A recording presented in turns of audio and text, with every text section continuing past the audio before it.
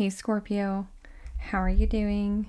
This reading is for Scorpio for the week of August the 12th to the 18th. Sun, Moon, Rising, and Venus signs. Keep in mind this is a general read. Take what resonates and leave the rest behind. And Scorpio, if you're new to my channel, I am a Scorpio Sun. I also have three placements of Scorpio in my chart. So I get you guys. I feel you guys. I'm here for you guys. This is a safe place to be. So chill out, relax, and enjoy the reading.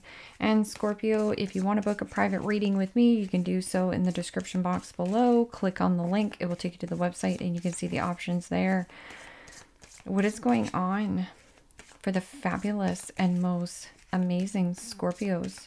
What do you need to know? What do you need to see for your highest good? Present time, the King of Pentacles, Capricorn, Taurus, Virgo energy. What's coming towards you? The Four of Pentacles, Capricorn, Taurus, Virgo energy. What you are focused on is the Moon, Major Arcana 4, Pisces. Also read that as Cancer. In your blocked and challenged position is the Four of Cups, Pisces, Cancer, Scorpio energy, and your outcome is the Ten of Wands, Aries, Leo, Sagittarius energy. Okay, Scorpio, let's clarify this and find out what is going on. Present time you have the king of pentacles. And the king of pentacles is making good money finances improving abundance focusing on your health wealth happiness what makes you happy you know very solid stable reliable loyal hardworking and very focused energy. You know king of pentacles can also be a very generous offering. And there is an energy of somebody not budging. So not revealing your hand it's like you might do, be doing something solo or singular or very private. Yeah, like um, keeping your cards close to your chest here. You could also be withdrawing from a situation that you're bored or discontent or dissatisfied with. It's too much of a burden for you to carry, or it's one sided in a situation. But King of Pentacles has the Midas touch. Whatever you touch here, Scorpio, you make more beautiful or turn it to gold. Or it could also be like some kind of golden opportunity that you're working on. And being more mindful of how you save and spend your money. Saving for a down payment on a home or saving up to start some kind of business. Being a little bit more frugal. Or if there's somebody being very stingy and frugal with you, you could be like taking a look at this. And that can also be like businessman, businesswoman, entrepreneur, or you mean business. But like privacy, hiding. What are you hiding here? And the Queen of Swords. Gemini, Libra, Aquarius energy. And the Queen of Swords is a lot of clarity, a lot of truth. Like, does this make sense? It's also come correctly or don't bother coming at all. There could also be something about a mediator or a middleman here, getting somebody's great advice or insight. Or a lot of people be, could be coming to you here, Scorpio, for your advice. And it's asking you, because in your blocked and challenged position, is to withdraw. Because I feel like people are distracting you of your own path Queen of Swords could also be an energy around you in your external environment. That can also be somebody who is heavily judging you, like judging a book by its cover. So they don't know so much about you because, again, you're keeping your cards close to your chest or you're not telling a lot of people of what you're doing or hiding. This could be like deceptive behavior as well. So the need for greed, like somebody who is selfish, self centered, um, this person is very stubborn or stingy, greedy. So you're kind of looking at this. It's like, um, yeah, I feel like I'm getting the short end of the stick here. Uh, can we clarify this? Queen of Swords can also be a sharp mind, but a sharp tongue. So make sure that you ground your energy before expressing because if emotions are running really high, you could say something out of fear, or you can say something about um, like out of anxiety, worry. This is the uncertainty. Let's see what this Four of Pentacles is. This could also be somebody who is trying to grip or hold on to you. Or here, Scorpio, it's like fearing or having deep hidden feelings for a person and you're gripping and holding on to a job situation, gripping and holding on to a person. And if you grip and hold on to a situation or a person, you could smother it and burn it out. But if somebody is greedy, only gives you the time of day when they feel like giving you the time of day, you might want to cut this out. I also feel like a lot of people are coming to you for advice and a need for you to um, not get distracted, not get distracted on what other people are doing, other people's journey, needing to put your phone on silence here because I feel like you have complainers in your external environment. So people constantly complaining about their problems and it's actually taking you off your focus. What is this? Uh, Four Pentacles? Wow, in the King of Pentacles. Capricorn, Taurus, Virgo energy. This is very fixed energy, Taurus energy. So somebody could be very stubborn and fixed and set in their own ways. Or what you're keeping close to your chest here, Scorpio, is that you make really good money, but you're not telling anybody about this. You have the lovers at the bottom, choice or decision from the heart, vulnerability, the bridge to connection. There could also be a King of Pentacles in your external environment that is holding their cards to their close to their chest. Or this person could be like eyeing you up. But again, vulnerability, transparency, truth, or a choice, choice or decision in job situation. But it feels a little bit stuck or stubborn. And if you are gripping or holding on to, let's just say, your money, the money can't grow. So this is a need for you to withdraw from some kind of commitment or something that's boring. Let's see what this uh, moon card is. Moon card is about getting outside of the familiar. So, what is familiar is only going to produce the same results. And everything in the unknown, the unfamiliar territories, is you walking the journey. Pay attention to your dreams, pay attention to your intuition. That can also be deep hidden feelings or anxiety, fear, worry, illusion or your own deceptive behavior, ill health, mental health. Um yeah, it's like somebody is like withholding that they can have their cake and eat it too as well, like around you. So this person is really stingy and frugal. Could be a boss, could be um like a person and you're kind of like communicating this. But here it's like walk the journey of the unknown, move into the unknown territories, everything you want, dream of, and desire is right in this blank space. And you're like, there's nothing there. I know, because you're going to create it.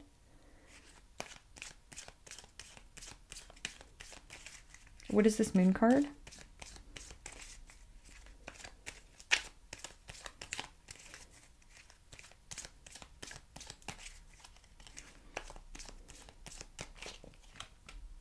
And the page of pentacles. Wow secret offer, a new investment, new beginning, new opportunity, new possibility. Speaks of researching or being the student or learnt lessons or taking some kind of new outlet to grow your finances. Or that can be like a new hobby, a new habit that you're doing behind the scenes. So this could be like a new diet plan and you're like not telling a lot of people what you're doing.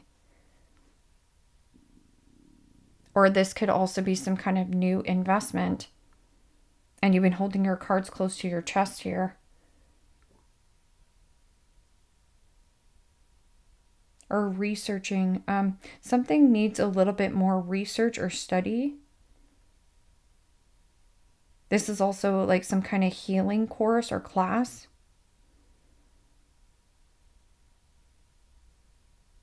That's also longing. Somebody like longing to reach out to you. Or if you're longing and waiting around for somebody here, this is my breadcrumber card. Again, somebody who's like stingy with their time and energy, even though you know this person has um, or can have their cake and eat it too. But for some of you, it's like taking a new business opportunity or expanding your finances. This is also a new routine. Whatever new routine you're doing, it's like you're doing it behind the scenes. That can also be hiring somebody like a client or a customer. There's privacy here. Five of Pentacles. Five of Pentacles can also be somebody, again, scarcity mindset or somebody feels left out in the cold by you. That can also, again, be mental health, ill health, depression. And if you're feeling this way here, Scorpio, um, depression is living in the past, right here, Four of Cups. Bored, discontented, dissatisfied. The milk has expired. You've overstayed in a situation and emotionally withdrawn feeling a little bit blah in life, like the milk has curdled.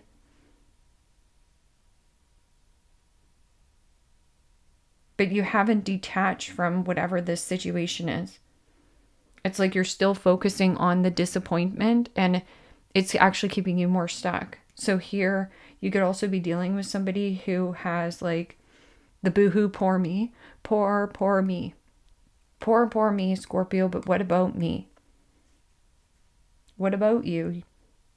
It's like this person has the same capability as you. It's just that you took action. They didn't. And so this could be like a ghoster or rejection, abandonment issues that you could be working on within yourself or a person here. This can also be somebody who's under the weather or you help people. So again, um, people want your help or support or advice, but it's actually here something about um, it's complaints. Um, and people complaining, this is low vibrational energy. And if you're complaining, what you think about, you're going to bring about. So don't invite that kind of energy to you. Or somebody is afraid of giving you something or offering you something because they're afraid of being rejected. But again, that could also be like, you know, working through abandonment issues or codependency. Or somebody like guilts you into situations where they're like, but what about me, Scorpio? Yeah, but what about you? And the Two of Wands. Wow. So you've already made a decision here. It's just that you need to take the next step here or this is like learned lessons. The moon card can also be like full moon, like getting closure on a situation.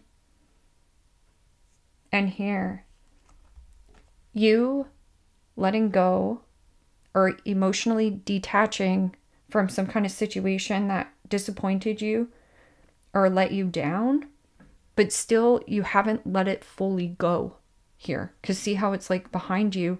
It's about making a new plan but see, somebody is like disappointment or dissatisfied with what you're doing. Again, somebody judging you. Don't worry about that. Just focus on your own journey. And somebody could be like heavily judging you because maybe you do make really good money or you're just super duper solid. Like you're, that's why you're keeping your cards close to your chest. But if you are trying to get away from a work situation and take something new, um, yeah, you've overstayed in a situation, or somebody promised you financial abundance and or commitment and it didn't pull through. Instead, they gave you breadcrumbs. Hello, take a look at this. Ten of Wands. Ten of Wands is, you know, let go of the burden, let go of the one sided situations. Let go of energy drains, energy vampires, people who steal your time, your money, your energy. No wonder why you're keeping your cards close to your chest.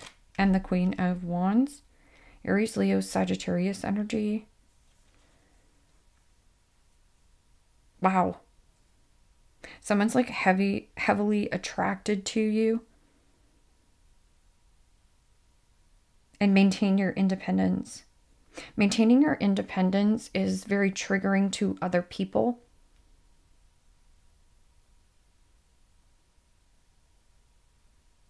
This could be like Aries, Sagittarius energy. The sun, truth, clarity, running on full bars, returning to good health and healing. Joy, happiness, success, abundance. It's every single positive word you can think of. And anything hidden in the dark is coming to light. So I do feel like there could have been someone who wanted to reach out to you, but they were like afraid to or if this is something that you need to release and let go, make a new plan. It's like you're taking a different offer here. And here with this Queen of Wands, this is like solar plexus, sensuality, sexuality, the way that you express yourself. This is like a heavy passion or a heavy, hot and heavy, spicy connection. Somebody is really attracted to you or so you are really attracted to a situation that you have been building for yourself. Like this is creativity, enthusiasm. Um, Queen of Wands is somebody who is like motivating or an inspiration to others, like a heavy inspiration. This is spotlight energy. When you walk into a room here, Scorpio, whether you know it or not, people get whiplash over you. And, you know, if you've been dealing with the Queen of Wands, Queen of Wands could be a little bit ruthless or controlling, and you're like, yeah, this is too heavy for me. Maybe that's why you've been keeping quiet. And there is, there's some kind of great advice or insight could be coming from an air sign or somebody judged a book by its cover. Like it's really heavily judgmental and being critical towards yourself here, Scorpio, as well. So we are our worst enemy.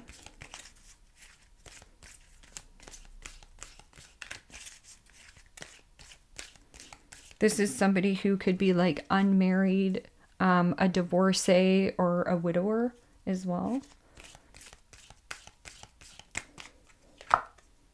Reach out. We know you are reaching out right now for help due to a current situation. Support support is as much as the physical act of accepting help where offer as it is about the emotional benefits and learning that it's truly okay to accept support, however, it's present presented to you. So this could be like a passed on loved one reaching out to you in your dreams that gives you some kind of great idea. Or there is you know, a need for you to open up a little bit because there is like an offering, but it might not be a huge offering. I feel like if this person does make really good money or has a lot of money, um, they might be kind of testing the waters with you to see if you want them for who they are as a person. But this can also be you here, Scorpio.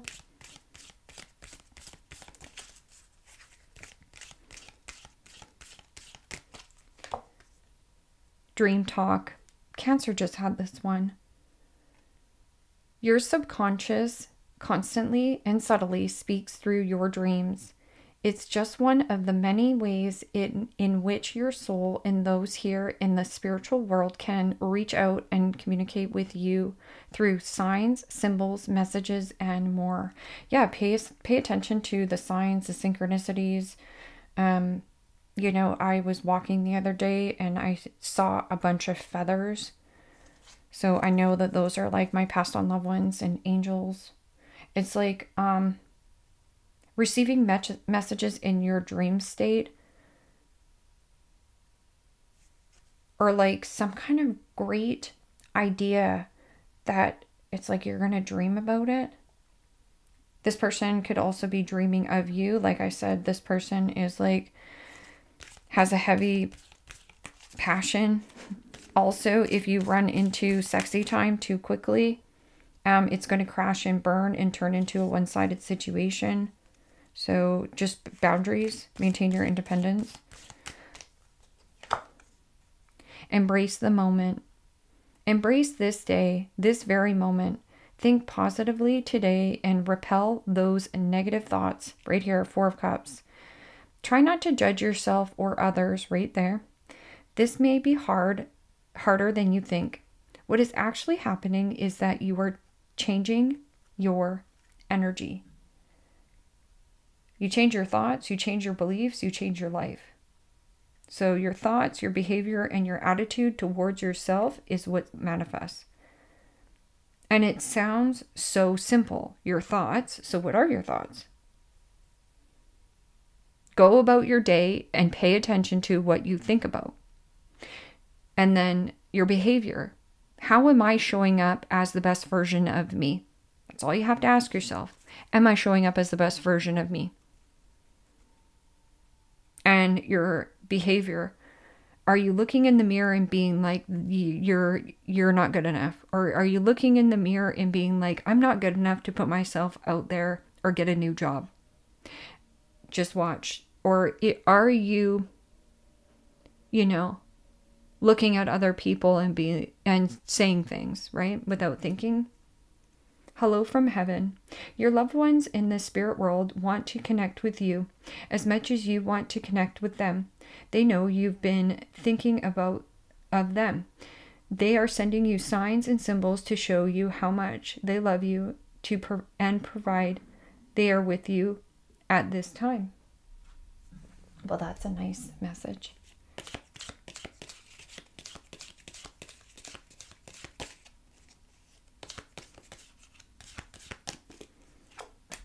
Butterfly, a change for the better.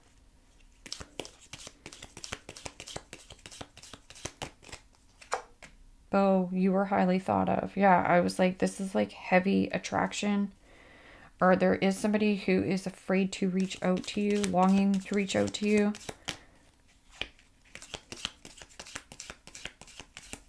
Or like they're testing the waters. Crib, birth or conception of a child and or enterprise. You could be keeping that quiet as well. So here it's like um, privacy, making baby. heavy love situation. Great. It's time to go out and have fun. Yeah, let loose, have fun. Wind chimes, peace, and harmony. It feels like you're getting a better offer in work. Um, I feel like you got like some kind of empty promise or like somebody was going to pay you, but they turned out to be quite stingy or something like that. Do not back down from opposition. Show strength and fortitude. Yeah, don't back down to bullies as well. Beetle, good fortune, a change for the better. Lightning, control your anger or you will be sorry. So just going back to the Queen of Swords, okay? And persevere and you'll overcome problems. Going back to the Queen of Swords, your triggers are your responsibility. So if an old pattern comes up and you get this worry, anxiety, fear, take a step back and ask yourself of why am I thinking this thought? Well, it's because of rejection or something from your past that you still need to move on from. So somebody did you wrong in the past or left you out in the cold or um, you didn't get the offer you wanted, something like that. But don't sit in this Four of Cups. This is my boohoo Eeyore card and complainer card. So if you're constantly complaining that things aren't going right in your life, what do you think you attract? More complainers. If you are focusing on of you know clear-headed, clear-minded, thinking ones, being practical and expressing yourself. So anything, like I said, you give positive attention to, you will thrive. But I also feel like there could be somebody who suppresses their feelings here. If you suppress your feelings, again, you're going to explode. And you could be seeing some kind of Queen of Wands. You could be letting go of a fire sign as well. But it's going to take your strength here or power. And you could be calling in some kind of like earth water sign here. Air, earth, water, air. Leave me a comment down below. Let me know how this resonates with you. Like, share, subscribe. And Scorpio, if you want to book a private reading, you can do so in the description box below. Click on the link, it will take you to the website and you can see the options there. Take care, my friends. Bye bye.